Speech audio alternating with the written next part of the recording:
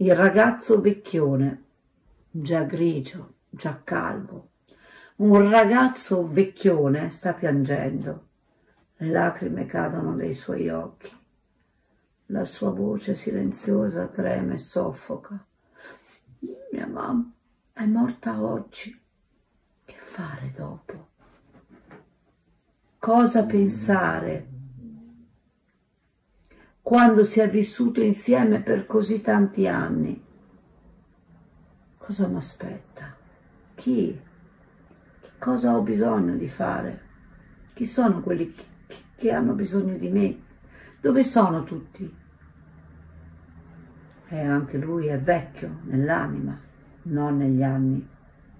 Tutto inutile, un disperato ostaggio dell'età critica in un appartamento vuoto sul suo divano. Passerà così, ostaggio della sua vita.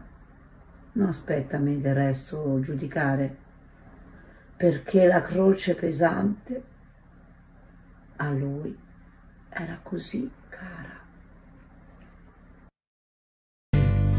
Scacciando fughe dai tuoi ma, soli siamo noi, in questa notte quando ormai l'ombra fugge già fra neutri e neri e poi chissà resterà per sempre pazza, bislacca come noi, sempre un po' ruffiana per la mia smania di abbracciare.